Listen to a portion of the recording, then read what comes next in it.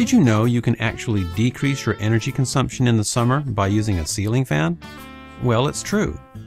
The correct ceiling fan, operating in conjunction with your air conditioning system and following a few simple to remember tips, will result in lower energy use overall. For example, many air conditioning systems run at roughly 3500 watts. A typical ceiling fan runs at only 60 watts.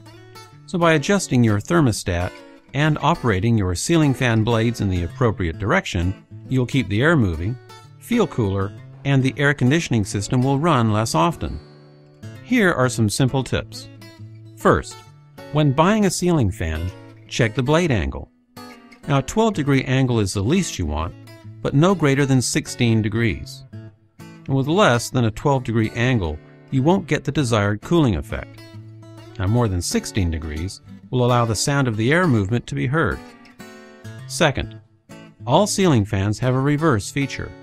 One direction for summer, one direction for winter. The summer setting will be the one where you can feel the air movement when standing directly beneath the fan. The winter setting actually pulls air to the ceiling and forces it in the direction of the walls. Finally, set your air conditioning thermostat 4 degrees higher than normal. Leave your ceiling fan running during the warmest part of the day. The air movement will make the room feel cooler than it actually is, and as we said before, the air conditioning system will run less often. The benefit is that you feel cooler even though the ambient temperature in the room is higher than before, and your air conditioning system is running less and is using less energy, which will save you money.